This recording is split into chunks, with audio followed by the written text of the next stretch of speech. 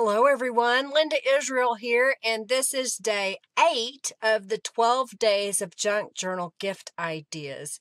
Again, I'm Linda Israel, and if you like my videos, definitely give them a thumbs up. And of course, share them with your friends, as well as subscribe if you haven't subscribed already.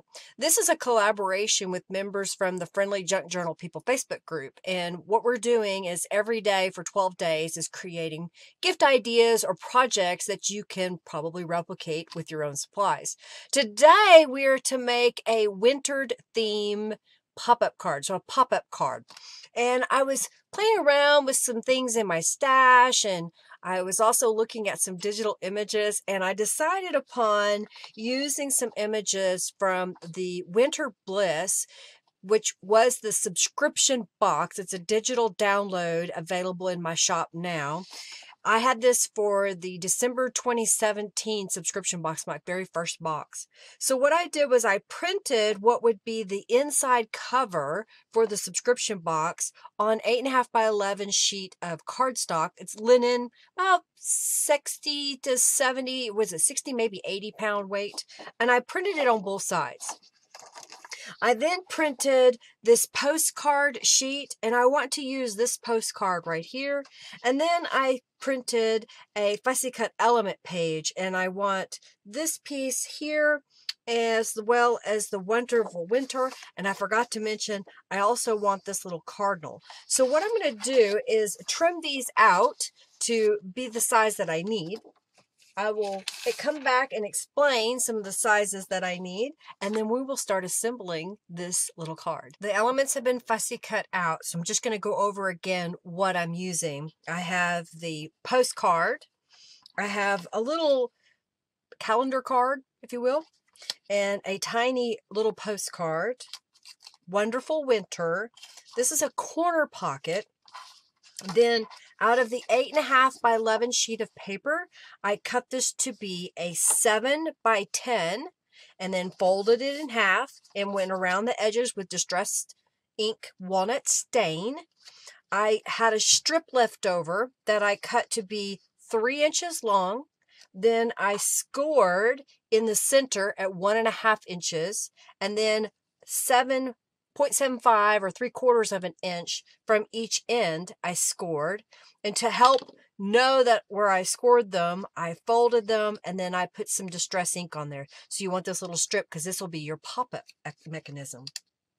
So I wanted you to see an idea of using possibly a subscription box, a digital kit that is generally made to make a journal, but if you kind of work with it a little bit, you can make it into a really cool pop-up card. So the first thing I want to do is I want to make some elements that have some scraps of fabric. I've trying to use some of my fabric stash that I have leftover scraps from quilting. So I'm going to turn over this little postcard piece and I have this plaid cotton fabric and I want to cut it or tear it into strips. So what I'll do is go over here to the edge and about an inch over, I'll just make a little snip and then I will pull and then just keep ripping. And then I'll clean off any loose threads. You'll have a few that pop off here and there. I, I pretty much got the loose threads off. If you want to use these for something, you can. Sometimes I'll stuff them into a little container and do something with it later. All right, so now what I want to do is I want to adhere this to the back of my card as a ruffle. And I'm looking at my card again. This is my top corner. So I will put down a bead of Aleene's Tacky Glue across the top and starting to go down one side. I don't want to put it out there too soon because I don't want it to dry and I don't want to accidentally have my fabric fall into it. So I'm going to grab my fabric and touch it to the glue and then slide it over just a little bit. So I'll touch it and slide, touch and slide.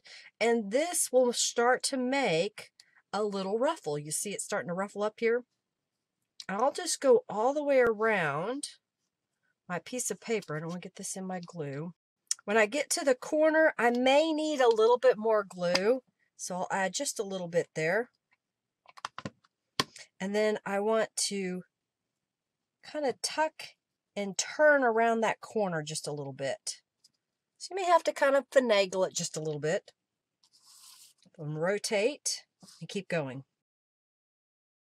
And then when I get around to the other side, I'll snip a little piece, a little bit longer than necessary, and then just kind of put some glue down to work it in there. So now I have this little ruffle all the way around. Isn't that kind of cute? All right, so I'm going to set this aside over here out of the way with an acrylic block laying on it. I want that glue to dry because I'm going to the sewing machine later. So I just want to go ahead and put that down right now. All right, I have this pocket piece and I know I don't want the whole width of the pocket piece because it'll interfere with my pop-up mechanism. So what I'm going to do is just trim off, I don't know, maybe not quite two inches of this eh, wedge here. And I'll go ahead and apply some distress inks to that edge. And now what I want to do is I'm going to grab some more of this fabric that I have here. So I got another little piece here. And I want to add a little ruffle on this edge, just like we did before with the card. So I'll just put down some glue and then just work this around. So now I've added fabric to that edge. So I'll set this aside again with another acrylic block laying on it just to help smooth that out. Okay, so now I have this little postcard. It's a tiny little postcard, and I want to make a little layered element. So I'm going to round the corners on my journal card here that is approximately, what is this? One, two, three and three quarters by two and three quarters inch. And that's just because I wanted it to be a little bit bigger. I've already made a prototype, so I had an idea of what size to make everything. And I want a really cute ruffle. All right, so I've got this piece. It's going to go in the center, but that's kind of plain. So what I'm going to do is take this same strips of fabric that I have here and we're going to glue it to the back side of this and make it into a little framed fabric piece just like we did with the big postcard. I'm using Aleene's tacky glue. It's inexpensive. It is non-toxic. It doesn't have horrible smells. It dries relatively quickly and it dries clear. That's why I like it. And I find that if I want to sew on top of an element that I glued down, Aleene's Tacky Glue, once it's dry, does not give me any issues with my sewing machine. All right, so now I have another little fabric postcard covered. So, oh, and my glue didn't stick because I got my finger stuck in it. All right, so I'm going to get another acrylic block and let that sit for a moment. I have I have these tear off notebook pads and so whenever I finish one I have this little piece of chipboard it's a little bit thicker than cardstock but I thought why not use that today and I have this little card that I want to use on here I know I have a scrap of fabric still and I've got a couple other elements. So I think what I want to do first is this card is about five by three and a half inches. I'm going to grab a scrap of paper and I have the snowflake border that I want to stamp in archival ink jet black around the edges. So I'm going to start here on one side and stamp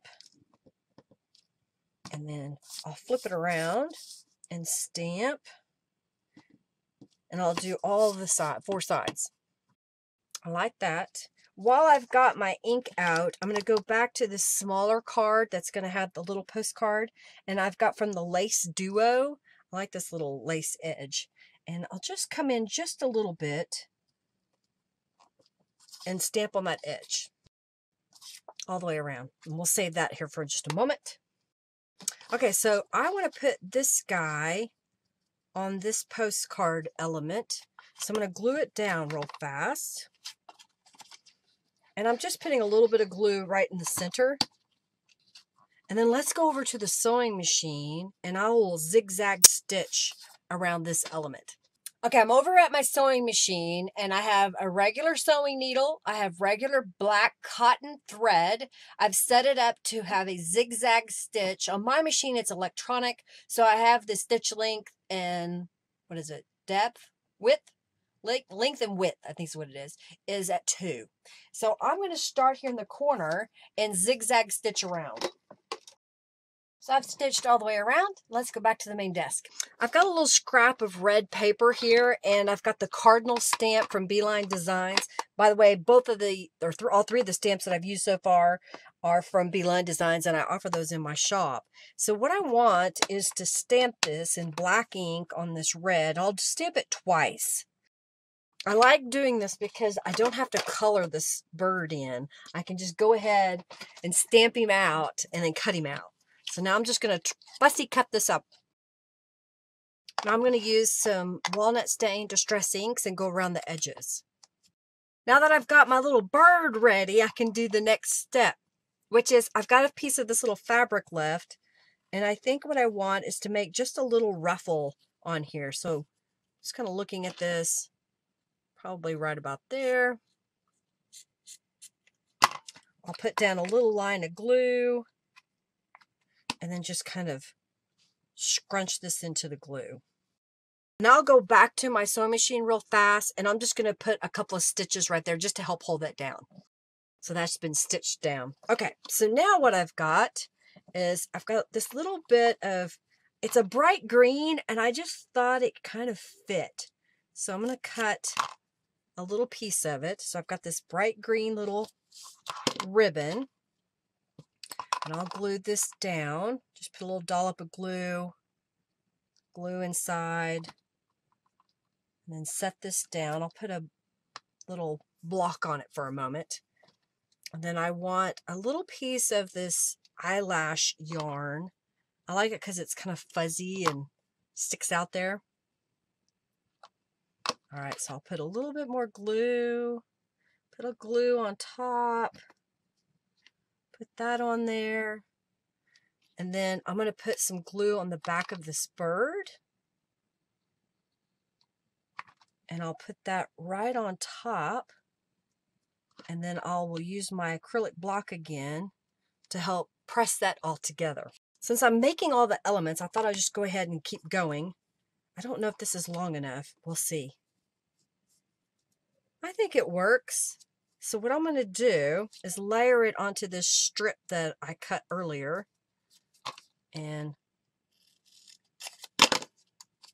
add some distress inks here. So I'm going to put a little bit of glue right down the middle just to help hold that fabric in place. And then we'll put Wonderful Winter. I'm just put a little glue right down the middle again. Put that right on top. I'll let this dry for a minute before I sew, but I've began to sew on that. So let's go back to some of our other earlier elements. I want this piece to go in the center. Isn't that cute? So I'll just put a little bit of glue right here in the middle and then press those together. And then we're going to sew on this in just a moment. So I'm going to lay it over here by my sewing machine. And this should be dry, and it is. And this piece should be dry. So now we're going to go back to our sewing machine and we're going to stitch all around all of these. So I'm just going to start in the corner and then stitch around this and that'll attach these two pieces together.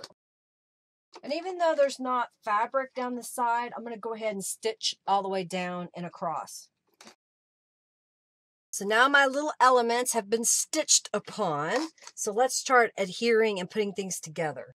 I'm going to start with the inside of my card because I know I've, a couple of things have to dry before I can move on. So what I'm going to do first is I'm going to glue down this pocket that's going to go over here on the right hand side, but I don't want it all the way down to the fold. I want it up just a little bit because when I put this piece in and it is functioning, I want to be able to see the little journal card that I put in the back. So I'm going to get my little journal card and test to make sure that if I put this, say, right about there, it'll stay above my little mechanism and yet it'll stay far enough down that my pop-up pieces won't stick out of the card. Does it make sense? I'm just going to put glue on the little tabs place it into the card, and then put an acrylic block on it to hold it down for a moment. My little pop-up mechanism, the way it works is you want to fold these tabs in, and it's a good idea to use a bone folder and really score those. And we're going to place this on our card right where the fold is in the center. So we want this piece there. So when we put this here, it'll work in our mechanism, okay? So I'm going to add a little bit of glue on these tabs and then place that in my card. So the glue's on the tabs. I'm going to line it up with the center fold and then I'm going to place my little block over the top of it and let that dry for a moment. While that's drying, I know that I can go ahead and place this guy down here in the corner. So I'm going to go ahead and glue this into place. And I'm going to use another little piece of this ribbon. So I'm making a much smaller piece. And I was going to put it on top, but I've decided to put it behind. So I think that looks pretty cute behind there, sticking out just a little bit. Get a little piece of this gold eyelash yarn. And that's going to go right about there. So I'll put just a little drop of glue. And then I'm going to use my cardinal on top to help hold it together. I like it. All right, I'm going to put another acrylic block on here. And then I'm going to let this dry for a few minutes and then I'll come back and we'll keep building our pop-up card. The elements have been sitting for a while, so they're relatively dry. I'm noticing there's not any glue sticking out anywhere. So the next thing I want to do is put in the pop-up element that's going to be inside. So I'm just kind of looking at the placement here, and I think I want it where it somewhat overlaps when you're opening this. So I'm going to put a little bit of glue on the front side of this little pop-up element. Position my card where I want it. And then slide my card closed. And let it come up for a moment. So I'm just kind of looking at it, making sure it's in the right spot. And then I will gently close my card and I'm going to leave an acrylic block on it for just a moment so that'll dry. While that's sitting there drying, I know that this will be the top portion of my card. So I'm going to come in here on the back side and glue this down. I could have sewn this to my base card, but I didn't want to see the stitches on the inside of my card. So I'm gluing it down to the front. So I'm going to move my blocks for a moment and then place this in the center on the front. And I'll just put my blocks back down. I may even split them up and I'm to let that glue dry and then I'll be right back. All right, so the glue should be dry now. And here is the front cover. And I could keep embellishing, adding things to it, but I, I kind of like the way it looks right now. And then this is what it'll do when you pop it up. And here is our little journal card that we'll put inside. So that fits right in there. Isn't that cute? I thought it turned out really cute. I like the way this turned out. It looks like this may have gotten a little bit crooked when I put it down, but you know what? It's still kind of cute in there. Well, I hope you enjoyed seeing my take on making a winter theme pop-up card. If again, if you like this video, give it a thumbs up and share it with your friends. Definitely check the description box below for the other artists who are also creating pop-up cards as members of the Friendly Junk Journal People Facebook group. And hey, if you haven't joined the Friendly Junk Journal People Facebook group, please do so. We'd love to have you. I go live on Mondays at 3.45 p.m. where I make a junk journal. And then I, of course, have tutorials here and there in between. All right, everybody. Thank you so much for watching. Have a fabulous day. Bye.